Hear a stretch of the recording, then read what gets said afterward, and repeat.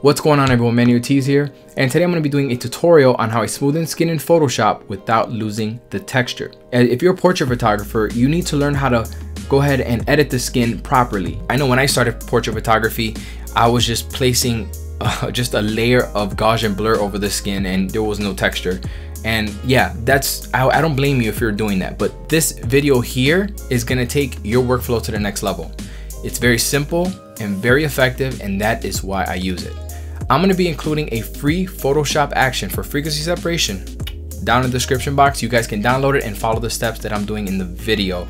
So make sure you download that. Also, I wanna send a huge shout out to Squarespace for sponsoring this video. Squarespace offers beautiful, elegant, award-winning templates.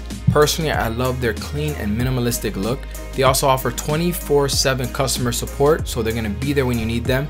And the best part about it is you don't need to be a web or graphic designer to create your own website. Anyone can do it.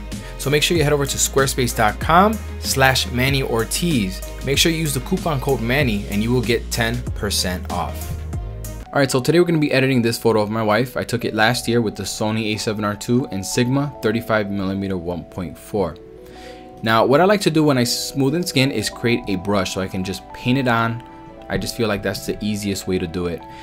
But before I do that, I always grab the spot healing brush and just take out some of the bumps and like pimples or anything like that in the skin that's that's very obvious so I'm gonna go ahead and do that really quick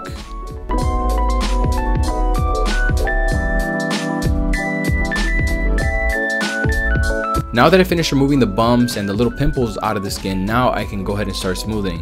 So when you go to the actions folder, you're gonna see my action right here, frequency separation Manny Ortiz. If you don't know how to load this in, you click here and you go to load action. And then you find it and you load it and it's gonna appear here in the action folder. You open it and you play it. All right so when you open up the folder you're gonna see two layers. There's a texture layer and a color layer. And this is essentially what frequency separation is. You're gonna be separating the color and the texture so when you're smoothing the skin on the color layer you're not gonna disturb the texture in the skin. So that is what it's all about so now I'm gonna go ahead and press command J or control J on PC to create another layer. Then I'm gonna go to filter blur Gaussian blur. So here comes the tricky part you know you're gonna have to determine how much blur you need in your image. Every image is different. If you're taking a full body shot versus you know a tight portrait the the amount of blur that you're gonna put in is different.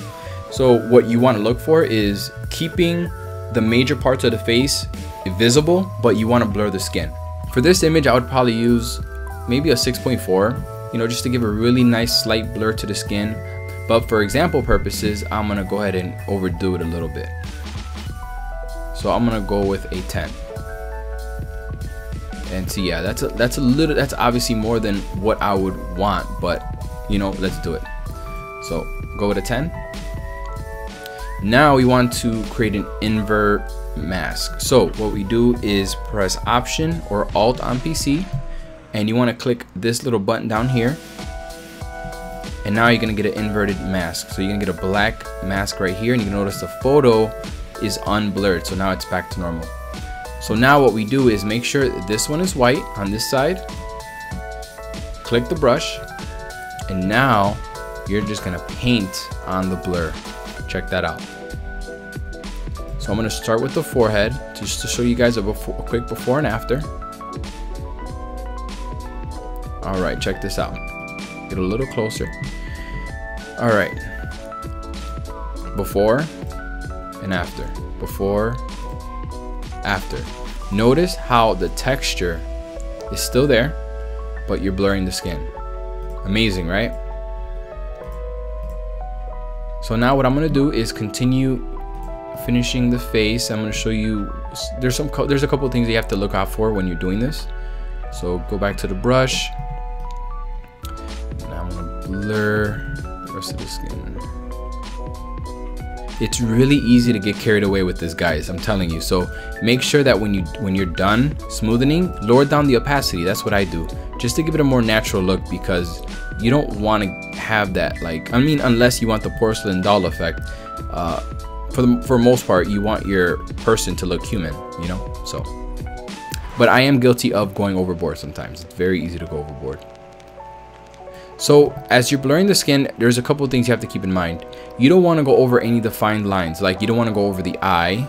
You don't want to go over these lines right here by the nose because it's just, it blends it in. You don't want that. So let me go back.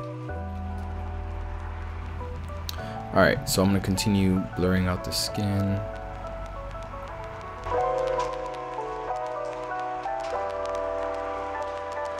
So that is how I smoothen skin in Photoshop. And after this, I would probably start messing around with, you know, fixing the blotches in the skin here. Uh, under the eye and just fix any imperfections in the skin then I would go to dodging and burning and all that good stuff so I want you guys to stay tuned for more retouching videos I'm gonna show you guys my techniques but I don't want to do it all in one video I feel like it's just a little overwhelming for the beginners out there and I don't want to do that. I'm to go ahead and break them all down into different videos. Uh, make sure to subscribe if you are new here and I'll see you in the next video. Peace. This photo coming up is my favorite photo of the entire session. I asked the model to run her hands through her hair using both hands, closing her eyes, kind of giving me that majestic feel. The reflection off the building got really strong and it just gave this beautiful glow in the back. I mean, I was absolutely blown away when I got this shot.